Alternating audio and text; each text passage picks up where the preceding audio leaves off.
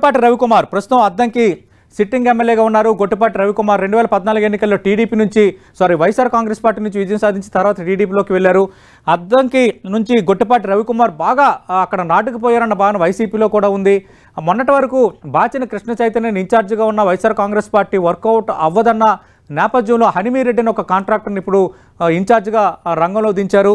Congress Telugu Desam party అభ్యర్థిగా గొట్టిపాటి రవికుమార్ తిరిగి పోటీ చేస్తున్నారు. ఈసారి వైఎస్ఆర్ కాంగ్రెస్ పార్టీ సంబంధించి ప్రస్తుతం ఇన్ఛార్జిగా ఉన్న హనుమీరెడ్డిని గొట్టిపాటి రవికుమార్ ఢీకొట్టబోతున్నారు.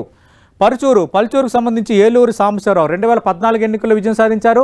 రెండు వేల పంతొమ్మిది ఎన్నికల్లో అంత వైఎస్ఆర్ కాంగ్రెస్ పార్టీ హవాలోనూ ఏలూరు సాంబశివరావు పరుచూరు నుంచి విజయం సాధించారు. తిరిగి సిట్టింగ్ ఎమ్మెల్యేగా పరుచూరు నుంచి ఏలూరు సాంబశివరావు రంగంలో ఉండబోతున్నారు. దామచర్ల జనార్దన్ సీనియర్ నేత దామచర్ల జనార్దన్ ఒంగోలు నుంచి గత ఎన్నికల్లో బాలినేని శ్రీనివాసరెడ్డి చేతిలో ఓడిపోయారు. తిరిగి తెలుగుదేశం పార్టీ అభ్యర్థిగా ఈసారి ఒంగోలు నుంచి దామచర్ల జనార్దన్ రంగంలో ఉండబోతున్నారు. నెక్స్ట్ చూద్దాం. శ్రీ బాల వీరాంజనేయ స్వామి కొండపి. ఒక రకంగా తెలుగుదేశం పార్టీకి సంబంధించి రెండు వేల పద్నాలుగు రెండు వేల పంతొమ్మిది ఎన్నికల్లో వరుస విజయాలు సాధించారు శ్రీ బాల వీరాంజనేయ స్వామి. కొండపి అనేది కొరకరాని కొయ్యగా మారిపోయింది వైఎస్ఆర్ కాంగ్రెస్ పార్టీకి. రెండు వేల పద్నాలుగు ఎన్నికల్లో జూపుడు ప్రభాకర్ రావు పోటీ చేసి ఓడిపోయారు. రెండు వేల పంతొమ్మిది ఎన్నికల పరిస్థితి కూడా మనం చూసాం. అయితే ఇన్ఛార్జిగా ఉన్న వరకోటి అశోక్ బాబు వర్కౌట్ అవ్వట్లేదని ఎర్రగొండపాలెం ఎమ్మెల్యేగా ఉన్న మంత్రి ఆదిమూలపు సురేష్ను కొత్తగా కొండపి ఇన్ఛార్జిగా ఈసారి వైఎస్ఆర్ కాంగ్రెస్ పార్టీ హైకమాండ్ నియమించింది. బాల వీరాంజనేయ స్వామి రెండుసార్లు వరుసగా విజయం సాధించారు. ఈసారి తిరిగి తెలుగుదేశం పార్టీ అభ్యర్థిగా రంగంలో దిగబోతున్నారు.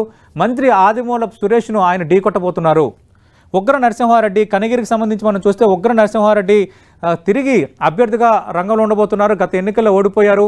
ఇక్కడి నుంచి విజయం సాధించిన Burra Madhusudan Yadav sitting MLA YSR Congress party అభ్యర్థిగా రంగంలో ఉండబోతున్నారు.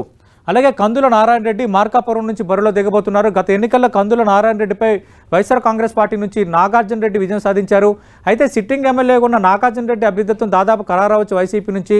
లేకపోతే జంకే వెంకటరెడ్డి పేరు కూడా ఇక్కడ కొంత బలంగా వినిపిస్తోంది. ఈ వీళ్ళిద్దరిలో ఒకరిని కందుల నారాయణ రెడ్డి ఈసారి ఆ తెలుగుదేశం పార్టీ అభ్యర్థిగా మార్కాపురం నుంచి ఢీకొట్టబోతున్నారు